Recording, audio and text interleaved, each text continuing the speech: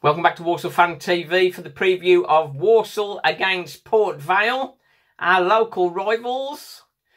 When we beat them in November, we were about seven, six, seven points off them, and uh, we were looking to close that gap.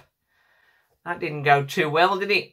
Um, Port Vale in the automatic promotion spots on 75 points with a goal difference of plus 23.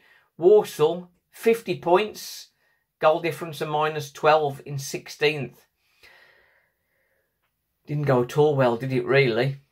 Um, form book, they've uh, won five, lost one, last six. Last time out, they lost after taking the lead at home to Bristol Rovers for Bristol Rovers to come back with three goals. So that was a bit of a surprise. One of my predictions, or another one of my predictions, that uh, didn't quite come off. But it is like a derby day. And uh, we will be at Smashburgers for the uh, start of our match day vlog. So uh, we have a discount code. So again, we've got 20% off. If you want to join us there, come and say hello, have a picture if you like, have a little chat. But can Walsall upset the odds and uh, put their challenge at risk?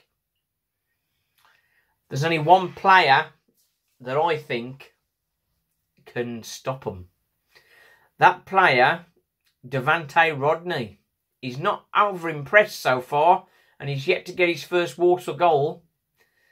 But Saturday could be that day. So, Devante Rodney, he'll want to prove a few uh, things to Port Vale. Can he do it on Saturday? That's what we're waiting to see.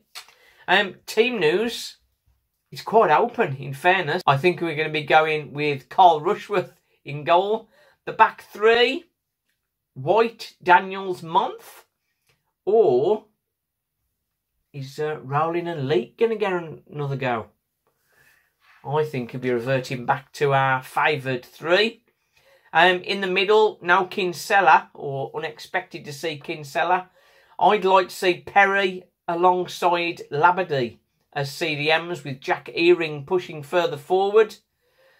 Ah, oh, it is a frustration that Jack Earing is uh, playing CDM most of the time. We want to get him further forward. Come on.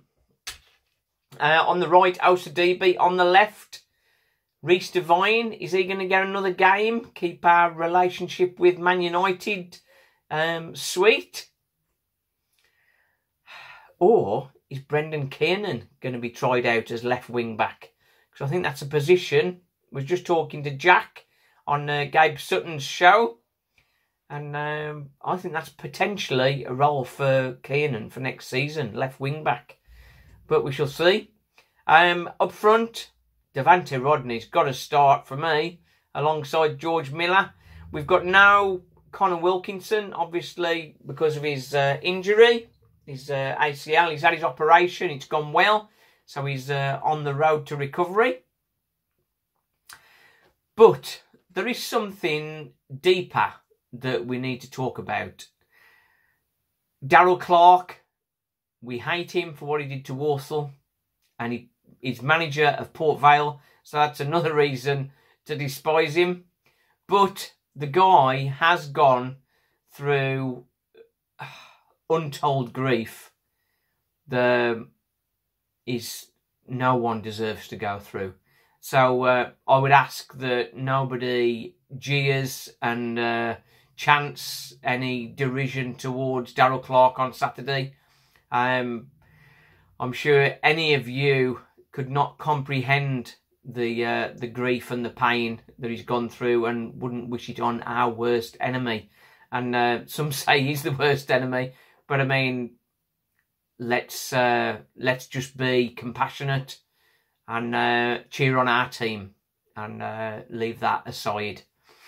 That's what I think, and I'm sure you all think the same. So uh, no jeering, no abuse of Darrell Clarke he got his full when we went to their place, but um, that was enough. So um, none of that, please.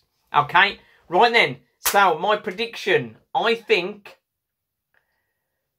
high scoring Vale are going to get stunted and Walsall are going to snatch a 1 0 with Devant A. Rodney.